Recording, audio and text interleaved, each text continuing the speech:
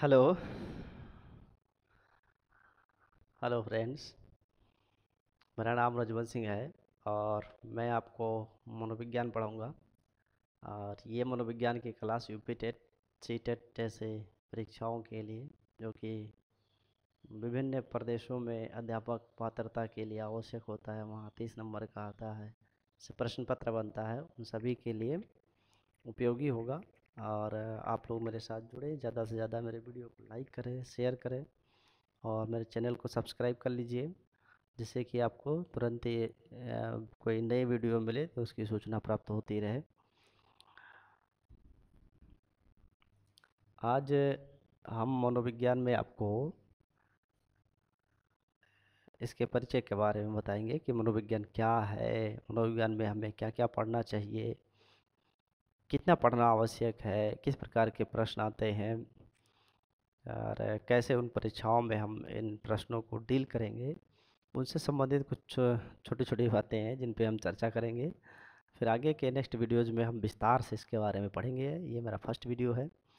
आ, मेरा channel subscribe ज़रूर करें लाइक करें शेयर करें आपका अगर सहयोग मिला तो मैं आपको ये सभी वीडियो लेक्चर्स फ्री में प्रोवाइड कराता रहूँगा। आप डेली मेरे इस चैनल्स पर दो वीडियोस प्राप्त करते रहेंगे, जिन्हें पढ़ करके आप आसानी से परीक्षाओं को पास कर सकते हैं। हम मनोविज्ञान शुरू करें, उससे पहले जो वर्तमान समय में समस्या है, पूरी दुनिया कोरोना नामक महामारी से पीड़ित है, इसमें मैं उन कुछ मूर्खों को हिदायत ज़रूर देना चाहूँगा, जिनको लगता है कि कोरोना नाम की कोई बीमारी धरती पर नहीं है, ये कुछ नहीं कर सकती। ऐसे ही समाज में जो मूर्ख पड़े भरे हैं। इनकी वजह से ना ये बीमारी कम हो रही है और ना ही बीमारी का संक्रमण फैलने से रुक रहा है। लोगों की ज़िंदगियाँ जा रही हैं, लाखों लोग मारे जा रहे हैं, लेकिन भी इनकी आँखें नहीं खुल रही है। सावधानी बरतने के बजाय ये इसको एक बिल्कुल हल्के में ले रहे हैं, जिसकी वजह से पूरी दुनिया में तबाही मची हुई, इसका संक्रमण चेन टूट नहीं पा रहा है। तो सरकारें प्रयास कर रही हैं, लेकिन इस समय सबसे ज़्यादा जो आशा की किरण किसी की तरफ़ से दिख सकती है जो इस समाज को, इस महामारी से बचा सके। वो हमारे डॉक्टर्स हैं और वैज्ञानिक हैं, जो दिनों रात काम कर रहे हैं, जिससे इस समस्या से निजात मिल सके। तो मैं उन सभी को धन्यवाद देना चाहता हूँ और आप लोगों से भी कहना चाहता हूँ कि मैंने मास्क तो नहीं लगा रखा है, क्योंकि मैं अपने घर में हूँ, एक कैमरा है मेरे सामने और कोई नहीं है, इसलिए मैंने मास्क नहीं लगा रखा। लेकिन जब भी आप भीड़ भाड़ में जाए तो वहाँ कम से कम समय व्यतीत करें और मास्क ज़रूर लग, पहन के जाए। सो, इस बीमारी का जो परिणाम हो आप देख पा रहे हैं। भारत में ही करोड़ों लोग अपने रोजी रोज़गार को खो चुके हैं और इस समय वो दो वक्त की रोटी के लिए सरकार के पाँच किलो चावल और गेहूँ पर निर्भर है। ये हंसने का विषय नहीं है, लेकिन बड़े अफसोस के साथ कहना पड़ रहा है। उन बेचारों को दो वक्त की रोटी भी नसीब नहीं हो पा रही है। बहुत सारी हमारी संस्थाएँ हैं जिन्होंने मदद किया है। अच्छा है, करते रहना चाहिए। लेकिन मूर्खों को ध्यान रखना चाहिए, जिनकी वजह से बीमारी फैल रही है। बचाव करें, इसको गंभीरता से लें, ये कोई मज़ाक नहीं है। जिस दिन आपके घर तक ये आफत आ जाएगी, उस दिन एहसास होगा कि आपने कितनी बड़ी गलती की है। तो अब इस टॉपिक से हटते हैं और अपने टॉपिक पर आते हैं जो हमारा है। वो है मनोविज्ञान साइकोलॉजी जो ये मनोविज्ञान है। इसमें से आपके यूपी टेट में, यूपी टेट एग्ज़ाम हो तो वहाँ भी ये तीस नंबर का होता है, तीस क्वेश्चन आते हैं। और सी टेट एग्ज़ाम होता है, सेंट्रल एलिजिबिलिटी टेस्ट तो वहाँ भी ये तीस नंबर के प्रश्न बनते हैं। तो तीस तीस नंबर के प्रश्न हर परीक्षा में लगभग सारे प्रदेशों में जहाँ भी एग्ज़ाम होता है, अधिकतर वहाँ तीस नंबर का मनोविज्ञान से संबंधित प्रश्न आते हैं। इसमें से आप एक बात ध्यान में रखिएगा कि जो पंद्रह क्वेश्चन ऐसे होते हैं, जो सब्जेक्टिव होते हैं, जैसे उसमें पूछा जाता है कि ये स्टेटमेंट किस मनोविज्ञान का है, स्किनर ने क्या कहा था, पावलाव ने कौन से जानवर पे एक्सपेरिमेंट किया, और रूसो ने क्या कहा, बालक के पुस्तक में सामाजिक विज्ञान को क्यों जोड़ा गया है, अर्थात हमारा राइट टू एजुकेशन एक्ट जो है, या जो हमारा करिकुलम बना हुआ है, जिसे हम फ्रेमवर्क कहते हैं नेशनल फ्रेमवर्क 2005 उसमें कौन सा विषय किस उद्देश्य से पढ़ा जाता है इस सब के बारे में विस्तार से दिया गया है। तो उन सभी में से जोड़ करके जो फैक्चुअल क्वेश्चन होते हैं फैक्ट बेसिस आते हैं, वो लगभग पंद्रह क्वेश्चन बनते हैं। परंतु जो पंद्रह क्वेश्चन होता है, ये फैक्ट बेसिस पे नहीं होता। ये पंद्रह क्वेश्चन आपके पूरे मनोविज्ञान और एक बालक की समझ के आधार पर होता है कि आपने मनोविज्ञान का अध्ययन किया, आपने शिक्षा मनोविज्ञान पढ़ा, आपने बाल मनोविज्ञान पढ़ा, उसको पढ़ करके आपने क्या सीखा? किस तरीके से एक बालक को आपको हैंडल करना है? तो उससे जुड़े हुए जो प्रैक्टिकल क्वेश्चन होते हैं, वो लगभग पंद्रह होते हैं जो हर परीक्षा में आते हैं। जो पंद्रह फैक्चुअल क्वेश्चन है, इन्हें आप प्रीवियस ईयर के पेपर कर लें, मेरे पास क्लास नोट्स मैं आपको दूँगा और आपको लगभग पंद्रह प्रैक्टिस सेट दूँगा यहाँ से। और जो आपको वीडियो लेक्चर्स मिल रहे हैं वो और हमारे जो प्रीवियस ईयर के प्रैक्टिस सेट है, वो भी आपको मिलेगा। आज तक जितने भी टेट, सी टेट हुए हैं, उन सभी के क्वेश्चन पेपर आपको हम प्रोवाइड करवाएँगे, पीडीएफ में प्रोवाइड करेंगे और अगर हमारा कोर्स आप परचेज करते हो तो आपको इसकी हम बुकलेट सीरीज़ प्रोवाइड करवा देंगे। तो आपको प्रीवियस ईयर का क्वेश्चन पेपर और मेरा जो अपने द्वारा खुद का लिखा हुआ मेरा एक शार्ट नोट है, जिसमें आपको पूरे तथ्य मिल जाएँगे मनोविज्ञान के, जिन्हें आप क्विक रिविजन की तरह बहुत आसानी से तैयार कर सकते हैं। वो आपको हम प्रोवाइड कराएँगे तो उससे आप अगर ख़रीदते हैं और उस पढ़ते हैं तो ये पंद्रह क्वेश्चन वहाँ से आपको हंड्रेड परसेंट मिल जाएगा। और ये जो पंद्रह क्वेश्चन जो कि प्रैक्टिकल होता है, ये थोड़ा टफ भी होता है क्योंकि आपकी जो सोचने की क्षमता है, जो बालक को समझने की योग्यता है, उस पर आधारित होता है। तो ये पंद्रह क्वेश्चन को समझने के लिए आपको हमारे साथ बना रहना होगा और मेरे सारे वीडियो लेक्चर्स आपको मिलेंगे। और जिन लोगों ने कोर्स खरीद रखा उनको तो सारे वीडियोस मिलेंगे और जिन्होंने नहीं खरीद रखा है कोर्स नहीं परचेज किया है वो भी अपना उपयोग कर सकते हैं इन वीडियोस का लेकिन जानते ही हैं ये वर्क फ्रॉम होम चल रहा है तो मुफ़्त में कोई सेवा देना ना आसान नहीं है लेकिन फिर भी मैंने बहुत आ, कम रुपए में ये कोर्स बना रखा है जिसको आप आसानी से खरीद सकते हैं। तो ये जो टेट है इसमें तीस क्वेश्चन में से पंद्रह क्वेश्चन आपके थेरेटिकल होंगे और जो पंद्रह क्वेश्चन बनते हैं वो आपके प्रैक्टिकल वाले होते हैं जिन्हें आपको देखना होता है और अपने विवेक का इस्तेमाल करके इसका उत्तर देना होता है।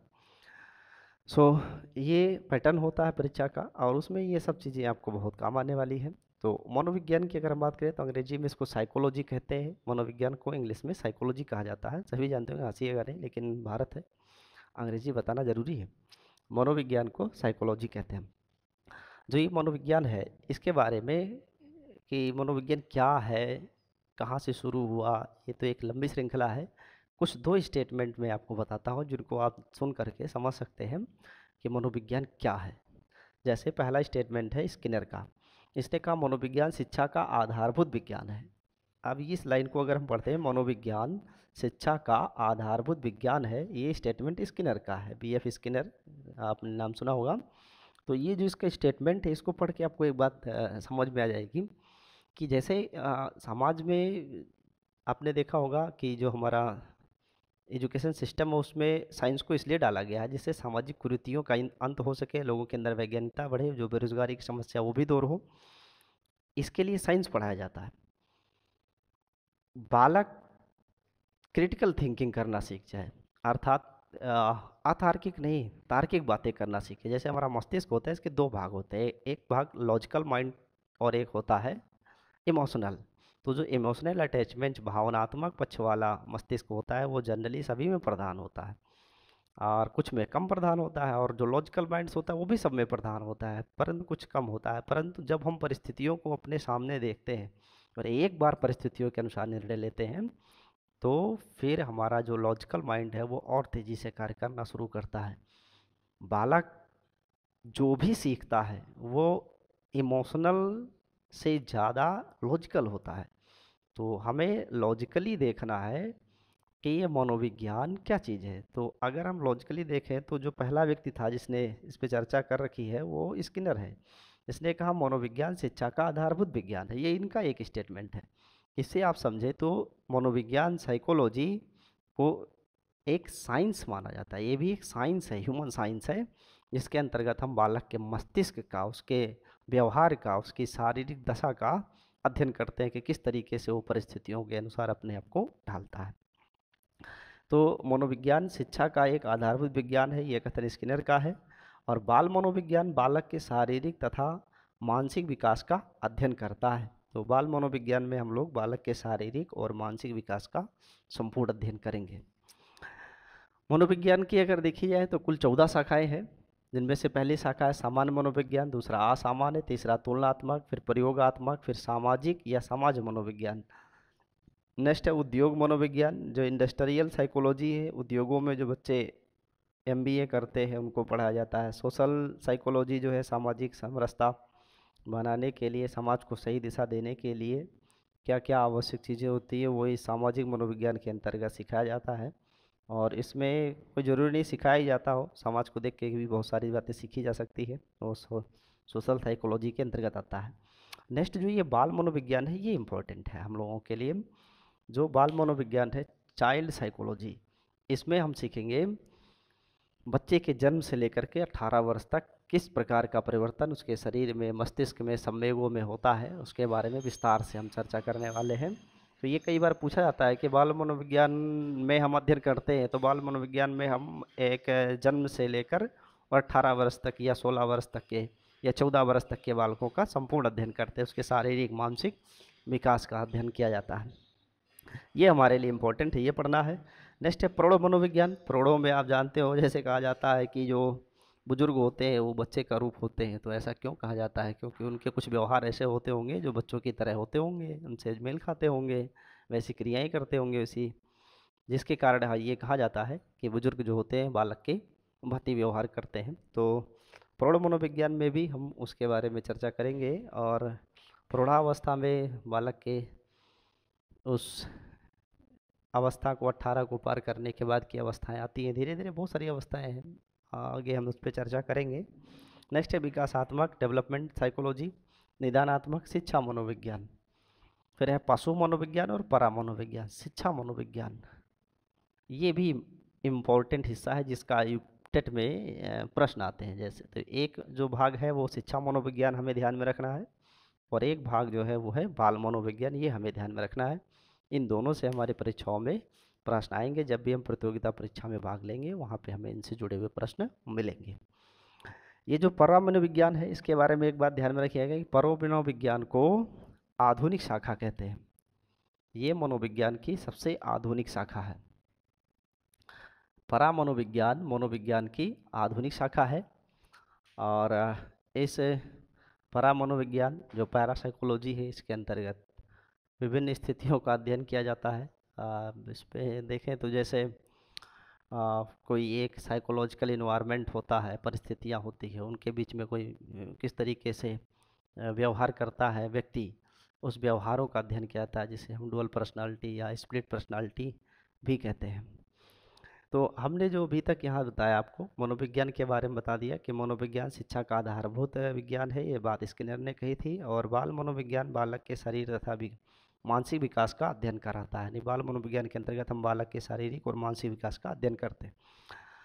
नेक्स्ट शाखे महत्वपूर्ण बात ये ध्यान में रखना है कि इसकी चौदह शाखाएँ हैं और ये शाखाएँ हैं, उनमें से हमें जो दो मुख्य रूप से पढ़ना है वो शिक्षा मनोविज्ञान और बाल मनोविज्ञान। बाल मनोविज्ञान में मैंने आपको बताया कि इसमें बालक के विकास और उसके वृद्धि के बारे में विस्तार से अध्ययन करें। जब हम विकास की बात करते हैं तो विकास में उसका सामाजिक सामवेगिक